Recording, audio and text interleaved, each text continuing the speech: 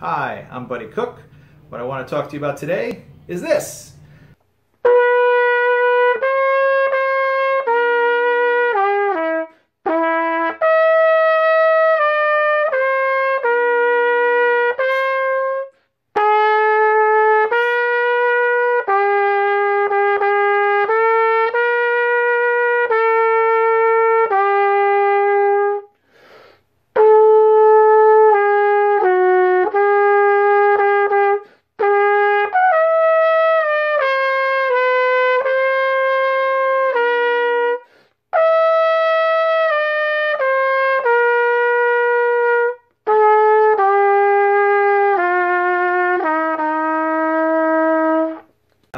This is a wonderful horn that I just recently got, uh, made in 1969 by the Holton Company, uh, which would be just shortly after LeBlanc took them over. Uh, LeBlanc bought out Holton around 1964, so this would be one of the first uh, couple years after that.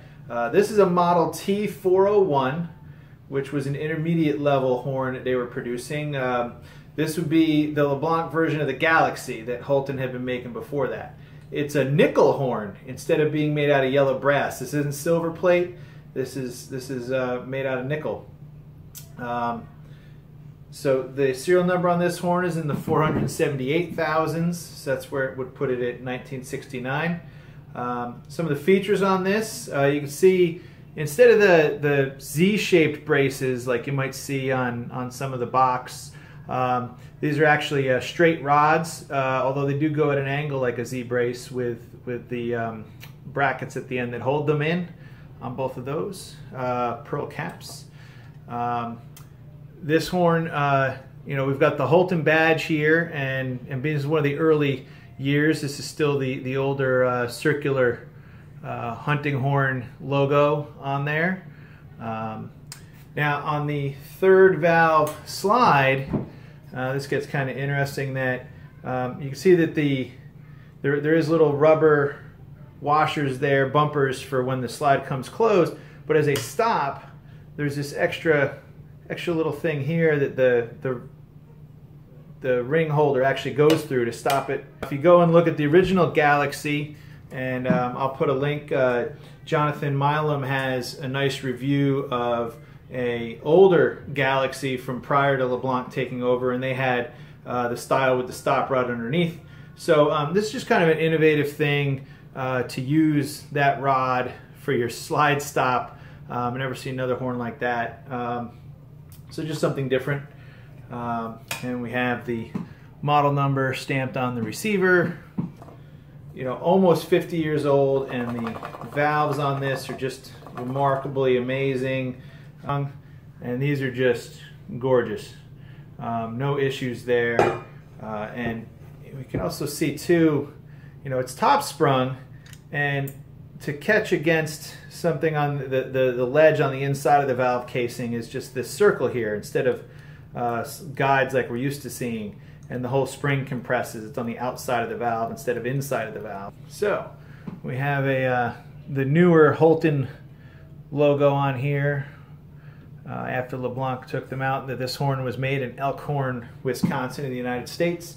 Um, this particular one, there's a lot of scratches in the lacquer. Um, there's one spot here on the bell where the lacquer is uh, flaked off about the size of a quarter. But other than that, um, I see one tiny ping up near the bell and really no other signs of any dents or repairs uh, that have been done to it. So this has uh, survived remarkably well.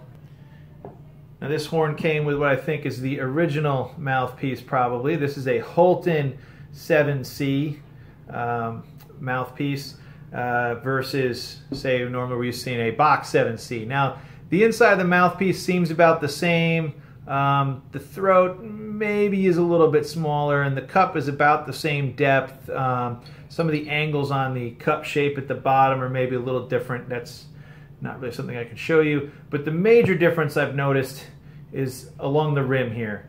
Um, there's much more of a curve that's much gentler going in, um, makes it much more comfortable up against your lips, uh, much softer rim you might say, Um, I've tried it out. It, it plays nice, plays beautiful. Um, I'm just not quite used to it, so that's a little bit of a, a change in, in embouchure. Um, but it, but it is a pretty nice nice mouthpiece and a, a, different design there than say the Bach 7C, which well, it is a nice rounded, comfortable rim.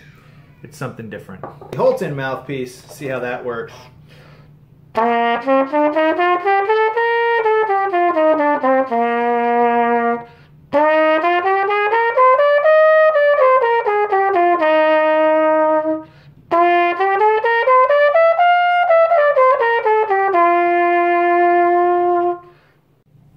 So this has been the Holton T401 Galaxy, uh, this one from 1969. Hope you enjoyed today's review and hope uh, enjoyed listening to this horn.